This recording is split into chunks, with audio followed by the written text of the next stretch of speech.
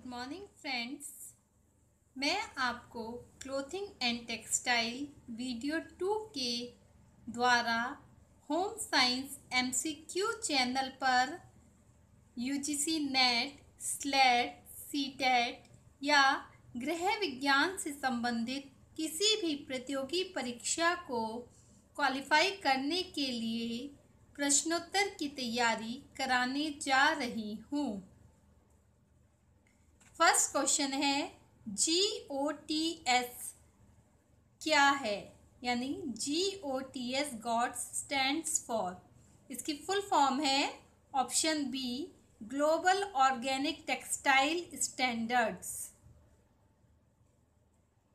second question है, एक वस्त्र कपड़े पर आर्टिस्टिक खत्म निम्नलिखित प्रभाव पैदा करता है?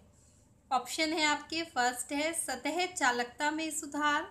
सेकंड ऑप्शन है, कपड़े की सतह से पानी के अणुओं को खारिज कर दिया।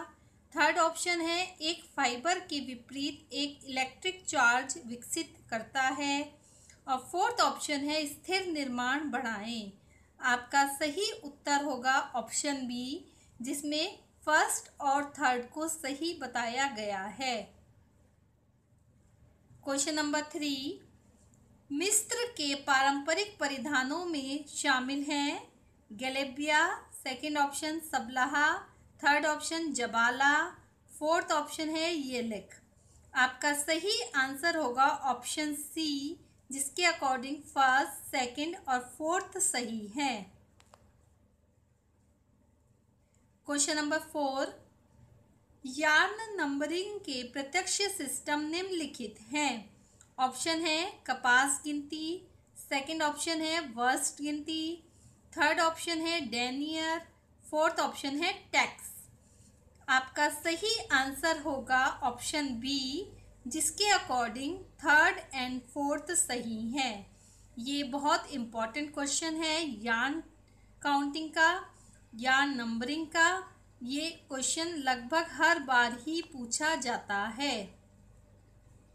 Question number five assertion type question है.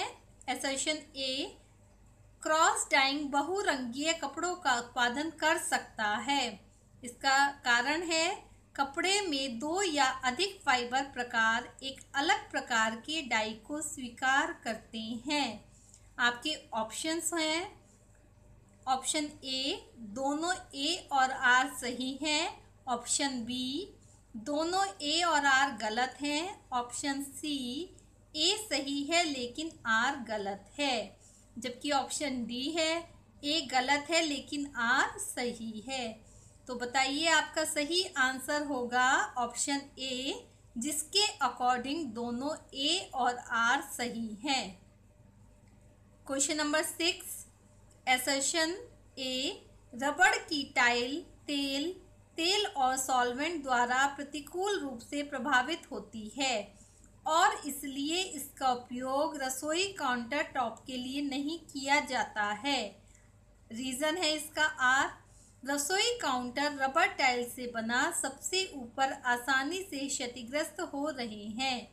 इसके ऑप्शंस हैं, ए गलत है और आर सही है। ऑप्शन बी ए सही है और आर गलत है। ऑप्शन सी, दोनों ए और आर गलत है। ऑप्शन डी, दोनों ए और आर सही है। इसका सही आंसर है ऑप्शन डी, यानी दोनों ए और आर सही है। क्वेश्चन नंबर सेवन, डेनिम के निर्माण में अनुक्रम क्या है? ऑप्शन है रस्सी या चादर ड्राइंग। ऑप्शन टू में drawing. Option three three into one twill का उपयोग करके बुनाई ऑप्शन फोर अनुभागीय या सीधे रस्सा पर वॉशिंग ऑप्शन फाइव यार्न का आकार बदलना। इसके ऑप्शन दिए गए हैं। ऑप्शन ए बी सी और डी इसमें से सही आंसर है ऑप्शन सी जिसमें सबसे पहले फोर नंबर के पॉइंट को लिया गया है। क्वेश्चन नंबर एट एजोइक रंजियों के साथ छपाई का सही अनुक्रम दें। फ़र्स्ट है डायग्जेशन सेकंड है क्लियरिंग नेपथॉल थर्ड है नेप्थोलेशन फोर्थ है कपलिंग या युग्मन। आपके आंसर क्या हो सकते हैं? कोड में दिए गए हैं ए बी सी और डी सही आंसर है ऑप्शन बी जिसके अकॉर्डिंग सबसे फ़र्स्ट आना चाहिए। Third point naphtholation